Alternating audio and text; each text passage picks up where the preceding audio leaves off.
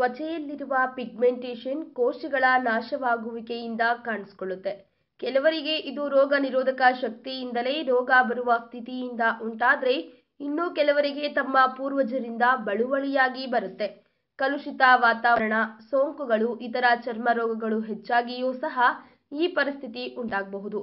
ಆದ್ದರಿಂದ ಹೆಚ್ಚು ಕಾಲ ಬಿಸಿಲಿಗೆ ಮೈಯೊಡ್ಡಿದ್ರೆ ಚರ್ಮ ಉರಿಯಾಗುತ್ತೆ. ಇನ್ನು ಇವುಗಳಿಗೆ ಸೂಕ್ತ ಮನೆಮದ್ದು ಅಂದ್ರೆ ವಿಳ್ಯದ ಎಲೆ.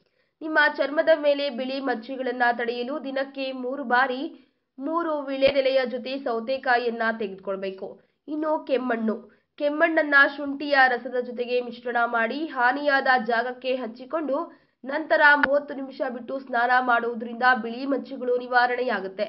ಇನ್ನು ಇನ್ನೂರ ಐವತ್ತು ಮಿಲಿ ಶುದ್ಧ ಸಾಸಿವೆ ಎಣ್ಣೆಗೆ ಅರಿಶಿನ ಐದು ಟೀ ಚಮಚ ಸೇರಿಸಿ ಹಾನಿಯಾದ ಜಾಗಕ್ಕೆ ಆರು ತಿಂಗಳಿಂದ ಒಂದು ವರ್ಷ ಹಚ್ಚಿದ್ರೆ ಬಿಳಿ ತೊನ್ನು ನಿವಾರಣೆಯಾಗುತ್ತೆ. ತುಳಸಿ ಎಲೆಗಳು ಮತ್ತು ನಿಂಬೆ ರಸ. ತುಳಸಿ ಎಲೆ ಮತ್ತು ನಿಂಬೆ ರಸದ ಪೇಸ್ಟ್ ಅನ್ನ ತ್ವಚೆಯ ಮೇಲೆ ಹಚ್ಚಿ ಇದು ಪಿಗ್ಮೆಂಟೇಷನ್ ಹೆಚ್ಚಿಸುತ್ತೆ. ಉತ್ತಮ ಫಲಿತಾಂಶಕ್ಕಾಗಿ ಈ ಪೇಸ್ಟ್ ಅನ್ನ ದಿನಕ್ಕೆ ಮೂರು ಬಾರಿ ಲೇಪಿಸಬೇಕು. ವಿಡಿಯೋ ಬಗ್ಗೆ ನಿಮ್ಮ ಅಭಿಪ್ರಾಯಗಳನ್ನು ನಮ್ಮ ಕಮೆಂಟ್ ಬಾಕ್ಸ್ನಲ್ಲಿ ತಿಳಿಸಿ. ಈ ವಿಡಿಯೋನ ಲೈಕ್ ಮಾಡಿ, ಶೇರ್ ಮಾಡಿ ಹಾಗೂ ಮತ್ತುಗಳಿಗಾಗಿ ನಮ್ಮ ಯೂಟ್ಯೂಬ್ ಚಾನೆಲ್ ಅನ್ನ ತಪ್ಪದೇ ಸಬ್ಸ್ಕ್ರೈಬ್ ಮಾಡಿ.